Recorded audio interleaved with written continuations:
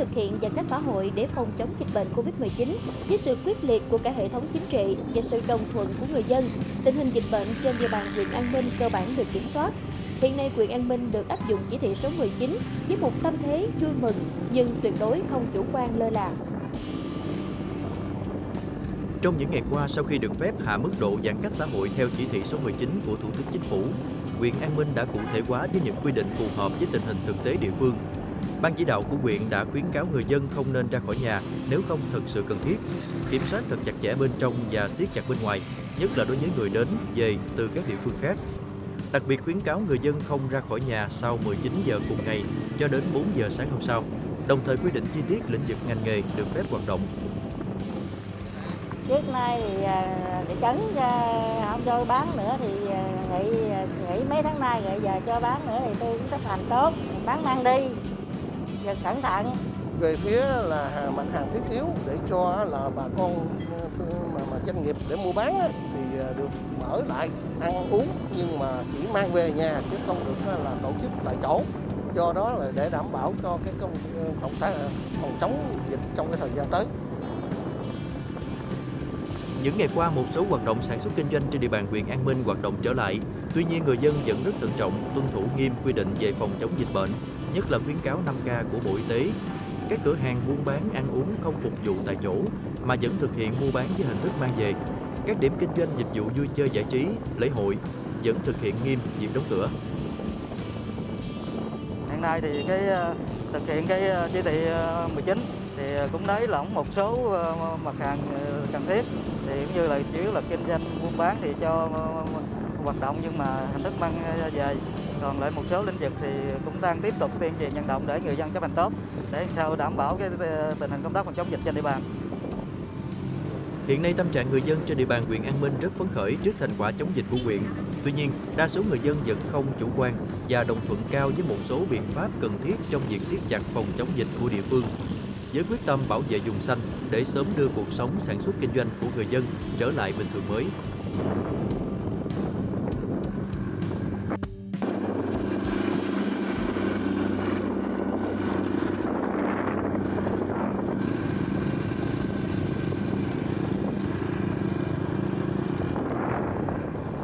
Để giúp mọi người dân, tổ chức doanh nghiệp nhận thức đầy đủ hơn việc giãn cách xã hội theo chỉ thị 15, 16, 19 của Thủ tướng Chính phủ và các quy định có liên quan của Ủy ban Nhân dân tỉnh. Ban tuyên giáo tỉnh ủy biên soạn tài liệu tuyên truyền dạng hỏi đáp để phục vụ công tác tuyên truyền trên địa bàn tỉnh. Và trong chương trình thời sự ngày hôm nay, chúng tôi xin tiếp tục giới thiệu những nội dung trọng tâm cần thiết của chỉ thị 19 của Thủ tướng Chính phủ. Mời quý vị và các bạn cùng theo dõi. Hỏi Thực hiện chỉ thị 19 của Thủ tướng Chính phủ, cơ quan ban ngành, cán bộ, đảng viên, công chức, viên chức có trách nhiệm và nghĩa vụ gì? Trả lời, theo chỉ thị 19 của Thủ tướng Chính phủ, được nới lỏng các biện pháp hạn chế để phục vụ phòng chống dịch đã thực hiện phù hợp với diễn biến dịch bệnh, khôi phục các hoạt động kinh tế xã hội trên cơ sở bảo đảm kiểm soát tốt dịch bệnh, chỉ thị 19 quy định các cơ quan ban ngành tiếp tục quán triệt sâu sắc quan điểm chống dịch như chống giặc, huy động sự vào cuộc của cả hệ thống chính trị và mọi người dân, đề cao kỷ luật kỷ cương trách nhiệm của người đứng đầu, thực hiện nghiêm các biện pháp phòng chống dịch, đồng thời thực hiện mục tiêu tiếp tục phát triển sản xuất kinh doanh, giải quyết việc làm với sự quản lý cụ thể của chủ tịch Ủy ban nhân dân tỉnh, thành phố trực thuộc trung ương. Cán bộ đảng viên công chức viên chức phải gương mẫu đi đầu trong việc thực hiện các biện pháp phòng chống dịch,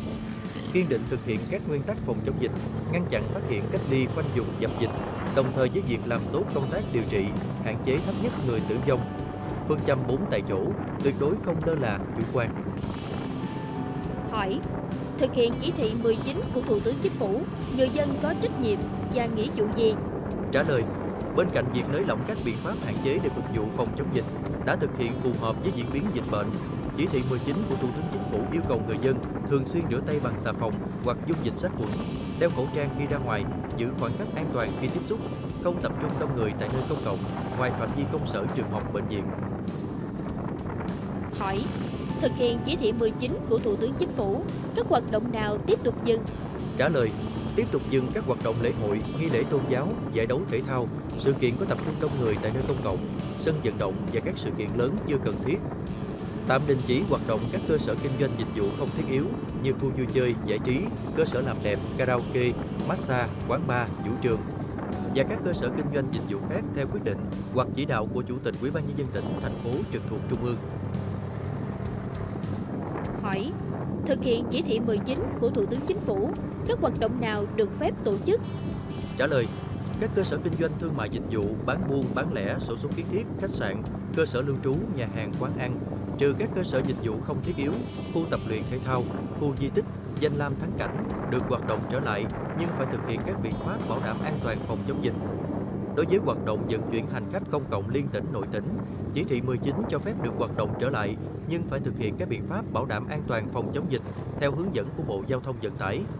Riêng đối với vận chuyển hành khách bằng đường hàng không, áp dụng các biện pháp phù hợp, đặc thù ngành hàng không, bảo đảm an toàn cho hành khách, ngăn ngừa lây nhiễm dịch bệnh. Các sự kiện chính trị, kinh tế xã hội thực sự cần thiết được tổ chức. Yêu cầu địa phương giảm giãn số học sinh trong phòng học, bố trí lệch giờ học, ăn trưa, sinh hoạt tập thể bảo đảm không tập trung đông người, thực hiện khử trùng, vệ sinh lớp học, kết hợp học trực tuyến, thực hiện các biện pháp phòng bệnh cho học sinh. Đối với các nhà máy, cơ sở sản xuất tiếp tục hoạt động và phải thực hiện các biện pháp phòng chống dịch cho công nhân, người lao động. Người đứng đầu cơ quan đơn vị tổ chức cơ sở chịu trách nhiệm xây dựng phương án làm việc cho cơ quan đơn vị một cách phù hợp, bảo đảm an toàn cho cán bộ nhân viên. Không tổ chức các cuộc họp hội nghị đông người chưa cần thiết, không để đình trệ công việc nhất là các công việc có thời gian thời hiệu theo quy định của pháp luật, các dịch vụ công phục vụ người dân và doanh nghiệp. Riêng đối với các sự kiện phục vụ mục đích chính trị, kinh tế xã hội thực sự cần thiết phải tổ chức thì do cấp quỹ chính quyền địa phương quyết định và thực hiện các biện pháp phòng chống lây nhiễm như đeo khẩu trang, sát trùng tay, ngồi giãn cách, thực hiện giám sát y tế, không tổ chức liên quan tiệc mừng.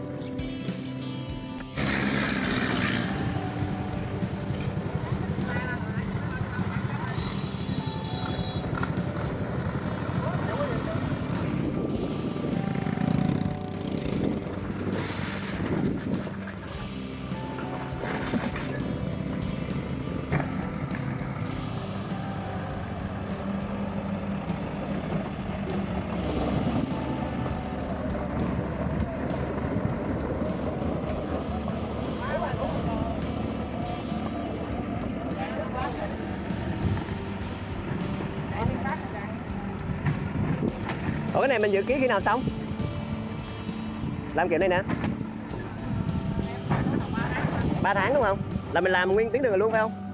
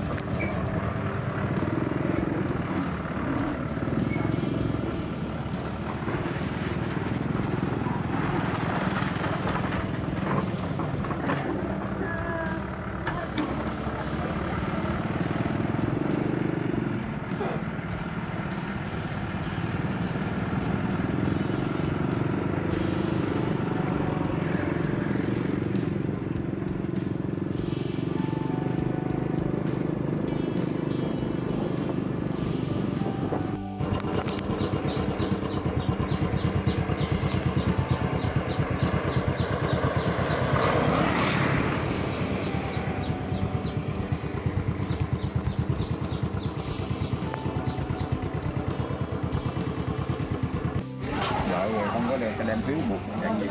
nữa nhận hai giờ sáng được 19 hai giờ sáng đây đây đây lê hữu thi cấp ba Phạm Ngọc Hiền 1990 Hai sáng 73 thi 83 Ngọc Hiền chín mươi.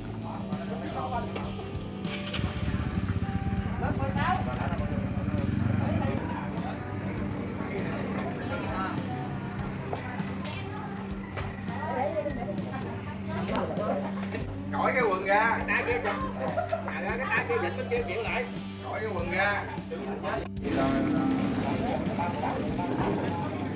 còn thanh quân tặng ơi cậu ơi bảy ngày ba.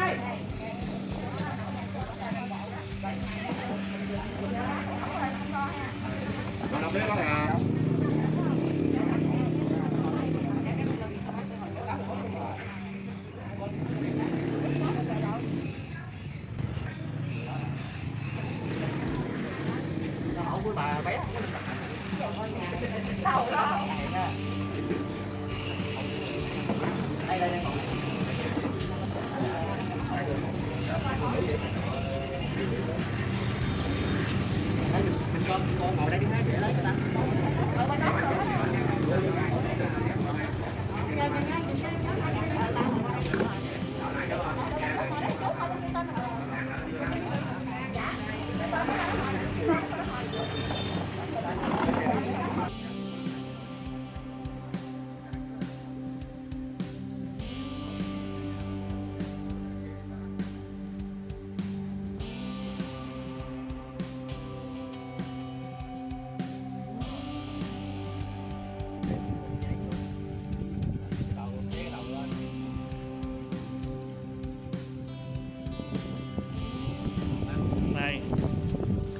Đây là vuông nè nha. Còn đây là cái ờ, cái con nước của ờ, người ta thôi. Rồi. Đó, thả luôn.